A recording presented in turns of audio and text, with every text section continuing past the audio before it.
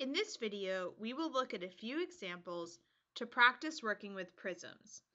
In example A, it says find the surface area of the prism below. So the first thing that you should notice is that this is a rectangular prism because its bases, the parallel faces, are each rectangles on top and bottom. So surface area means how many little unit squares would it take to cover the whole solid.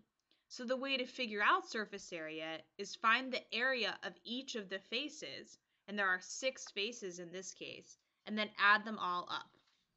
So in a rectangular prism, it's nice because every face has a partner. So for example, the area of this top face will be the same as the area of the base below it. And similarly, the area of this front face will be the same as the area of the face that's in the back that we can't even see. So we just have to figure out three areas and know that each of them will count twice. So since all the faces are rectangles and we know that the area of a rectangle is base times height, we can figure out those areas. So let's start with this face right here. Its dimensions are 4 by 10. So the area of that part right here is going to be 40 centimeters squared. Now let's look at this face off to the right side. Now, it doesn't seem like its dimensions are labeled, but if we look carefully, we'll see that this must be 17 centimeters because it's 17 over here, and this must be 4 centimeters because it's 4 over there. So that means the area of this face is 17 times 4, or 68 centimeters squared. And last, let's look at the area of the face on top, which has dimensions that are 17, and right here is 10, because it has to match the edge over there. So we want to do 17 times 10 to get 170 centimeters squared. So what we're going to do now is add all of these up but then remember that each of them had a partner, so we'll multiply our whole answer by 2 in order to count for all six faces. So when we add them all up, we get 278 centimeters squared. And then we'll multiply that by 2 because each of them had a partner to get our answer of 556 centimeters squared. So it would take 556 little unit centimeter squares to cover that whole solid. Next, we're going to look at example D in order to practice volume. It says you have a small triangular prism shaped tent.